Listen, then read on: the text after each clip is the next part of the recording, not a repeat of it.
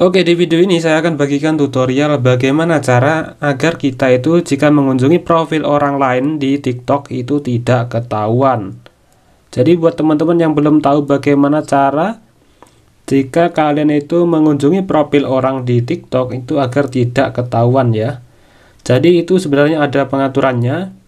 Oke, tapi di sini sebelumnya saya akan bersihkan meja saya dulu seperti ini karena banyak debunya ya. Seperti ini saya menggunakan ini dia vacuum cleaner portable mini ya, vacuum cleaner mini.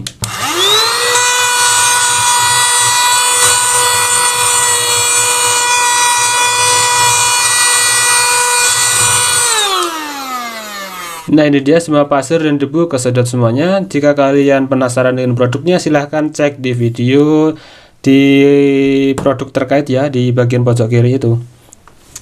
Oke jadi kalian buka dulu aplikasi tiktoknya ya seperti ini. Kemudian kalian pilih menu profil di pojok kanan bawah. Nah pada bagian ini kalian pilih baris tiga pojok kanan atas kemudian pilih pengaturan dan privacy. Nah kemudian pada bagian ini kita pilih ini dia ya privasi ya pada bagian privasi.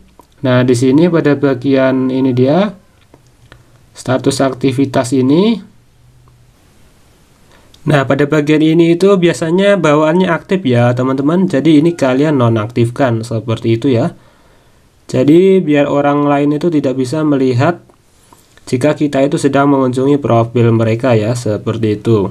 Oke jadi terima kasih nonton videonya. Semoga bermanfaat